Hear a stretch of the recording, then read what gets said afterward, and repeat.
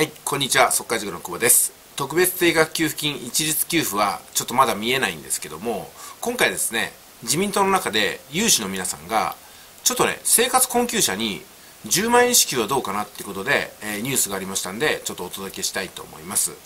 今日のヤフーニュースなんですけども、2月9日って書いてますよね。えー経済困窮者に10万円支給。自民党の有志提言ということでございます。自民党の高島修一衆議院議員ら有志議員は9日、下村博文政調会長と党本部で面会して、新型コロナウイルスの緊急事態宣言延長を受けた追加経済対策を提言したと。経済的に困窮する国民を対象とした10万円給付、持続化給付金の再支給が柱。下村氏はしっかり議論していくと応じたということでございます。で、このニュースがなんでこういうふうになったかというと、やっぱりね、自民党の議員さんも、こう、国民にいろんな提言を受けて、それをまとめて、さらに政調会長に提言するわけなんですよ。ということはどういうことかっていうと、どうせダメだろうっていうふうに考えたり、自分は何もしないけども支給されたらいいなっていう人が、まあ大半を占めてる限りは、こういう動きにはなんないんですよ。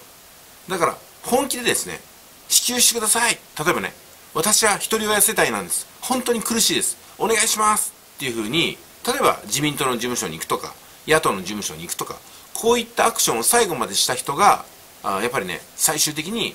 勝つんではないかなと思うんですよ。勝つっていうのはね、勝負でもなんでもないんですけども、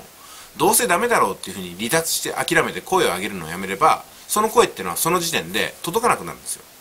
で、よくね、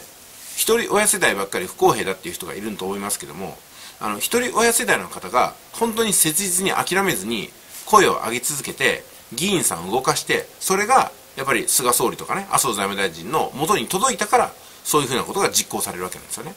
だから、不公平でもこれは何でもないです。もうね、不公平だ、不公平だって言って何もしない人の方が不公平なんですよ。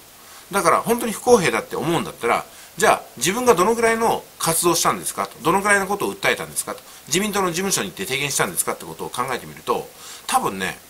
一人親世帯の支給を望む人以上にはやってないと思うんですよね。いや、そういうふうに見ないと、結局、声が上がってないのにやりましたってことはないわけですよ。与党はね。もう、しつこくしつこく声が上がってくるから、だからやるんですよ。GoTo トラベルもそうですよ。旅館事業者さんとかが集まって、それからあの二階幹事長に4000万だかなんかを献上して GoTo トラベルお願いしますってやるからお金だけじゃないですよ。お金だけじゃないんだけどもやっぱり声が集まったからこれロビー活動って言うんですけどもだから政治家さんがこの声を無視したら次の選挙で落ちるかもなと。印象が悪くなるかもなと思うからじゃあやりましょうってなるんですよ。声が上がってなければそんな声届いてなければやらないですよ、うん、だって頼まれもしないことをやりますかってことなんですよ。だから常にですね経団連にしても大企業にしてもそれから一般国民それとか生活困窮者にしても一番声が上がった人のことを優先的にやるのはこれは与党が必ずやることです。だからねまだまだね国民全員の一律支給の声っていうのはまだまだ少ないんですよ。これでも少ないんですよ。いや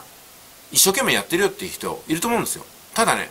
私言わせてもらいますけども私以上には活動してないと思いますよ。で私ぐらいのことを1万人ぐらいの人がいたら10万人ぐらいの人がいたらそれこそね100万人の人がやったら必ず支給されます。だからねコメント欄書いてる程度じゃダメですよ。でそれは分かったじゃないですかここまでで。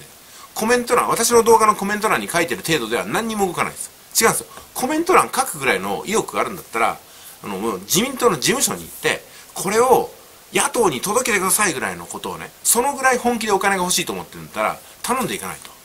私はもう行きましたからね。私は自分が欲しくて行くわけじゃないんですよ。生活困窮者の人に本当に行き渡ってほしいなと思うからおせっかいながらやってるんですよ。だって私に10万円の支給の権利があっても別に私はどっちでもいいですよ。もらいますけどね。もらってすぐ使います。経済を動かしたいんで、うん、だからそう私の立場はどうどうでもいいんですよ。私はとにかくねこのぐらいのことをやっても損はないでしょ。